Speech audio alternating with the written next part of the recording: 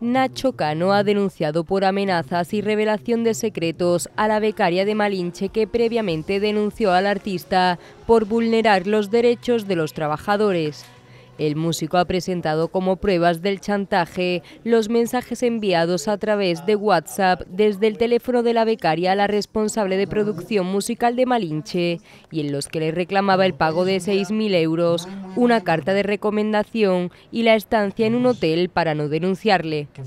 Sobre las actuaciones llevadas a cabo por la denunciada ante la policía, la Fiscalía de Madrid y los medios de comunicación, el abogado de Nacho Cano expone la denuncia cómo a raíz de no atender su defendido al chantaje, comienza la ejecución de una campaña de ataque, desprestigio y acoso contra Cano y la dirección de Malinche.